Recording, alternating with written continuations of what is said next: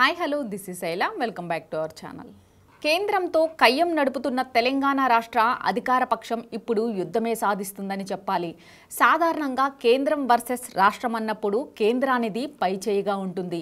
అందుకు భిన్నంగా తెలంగాణలో మాత్రం సీన్ రివర్స్లో ఉంది. కేంద్రంపై పదునైన విమర్శలు చేస్తూ రాష్ట్రానికి ఏమీ చేయదన్న వాదనను బలంగా వినిపిస్తున్న కేసీఆర్ సర్కారు దెబ్బతో కమలనాథులు ఆచితూచి అన్నట్లుగా రియాక్ట్ అవుతున్నారు. ఇదిలా ఉంటే గడిచిన కొంతకాలంగా సీఎం కేసీఆర్కు తెలంగాణ రాష్ట్ర గవర్నర్ తమిళసైకు మధ్య మాటల యుద్ధం నడుస్తోంది.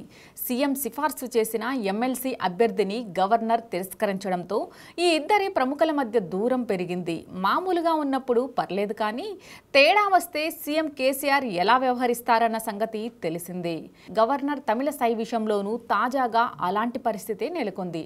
రాష్ట్రానికి ప్రథమ పౌరురాలి అయినప్పటికీ పెట్రోకాల్ ప్రకారం ఆమెను అందాల్సిన గౌరవ మర్యాదలు అందకపోవడం రివ్యూలకు సిఎస్ డీజీపీలు రాకపోవడం లాంటి వరుస ఉదాంతాలతో గవర్నర్ తమిళసై ఓపెన్ అయ్యారు.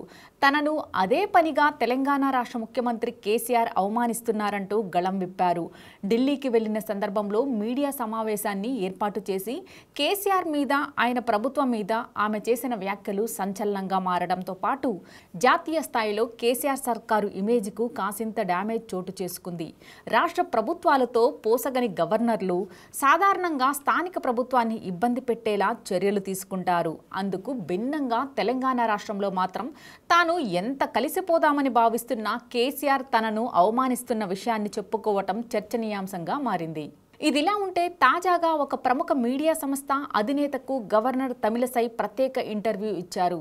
ఈ సందర్భంగా ఆమె చేసిన వ్యాఖ్య ఆసక్తికరంగానే ఉంది. రానున్న రోజుల్లో ఎలాంటి పరిస్థితులు ఉంటాయన్న విషయాన్ని చెప్పకనే చెప్పేశారు. ముఖ్యమంత్రి కేసీఆర్ కాకుండా మంత్రులు కేటీఆర్ కానీ హరీష్ కానీ తమ డెలివిగేషన్ చర్చలకు వస్తే ఓకేనా? అన్న ప్రశ్నలకు ఆమె స్పష్టంగా సమాధానం ఇచ్చారు. ముఖ్యమంత్రి కేసీఆర్ స్వయంగా వచ్చి తన వద్ద కూర్చొని మాట్లాడాల్సి ఉంటుందని చెప్పారు. రాజ్యాంగబద్ధమైన ఉన్నత పదవిలో ఉన్న తన వద్దకు సీఎం రావాల్సిందేనని చెప్పారు.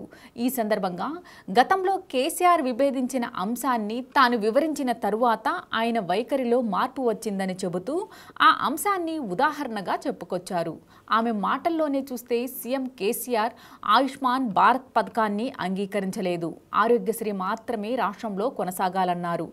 దీంతో ఆయనకు నేను ఆయుష్మాన్ భారత్ ప్రయోజనాలను వివరించాను. తమిళనాడులో సీఎం అండీప్ సమయం స్లీమ్లో ఆయుష్మాన్ భారత్ని చేర్చడం వల్ల ఎక్కువ మంది లబ్ధి పొందారని చెప్పా. నేను మాట్లాడిన విషయాల గురించి ఆ తరువాత సీఎం కేసీఆర్ నేరుగా అసెంబ్లీలో ప్రస్తావించారు. ఆయుష్మాన్ భారతుల్ని అమలు చేయడం వల్ల తెలంగాణకు దాదాపు ఎనిమిది వందల నుంచి వెయ్యి కోట్ల ప్రయోజనం చేకూరుతుందన్నారు. ఇదే విధంగా నేను సీఎం కేసీఆర్కు చెప్పాను. ఇందులో తప్పేముంది? ఏదైనా ఉంటే నాతో కూర్చొని మాట్లాడితే సరిపోతుంది కదా అని చెప్పారు. తనకు ముఖ్యమంత్రి కేసీఆర్ మీద ఆయన ప్రభుత్వం మీద ఎలాంటి దురుద్దేశం లేదన్నారు. ఇలాంటి లేటెస్ట్ అప్డేట్స్ కోసం please subscribe to our channel.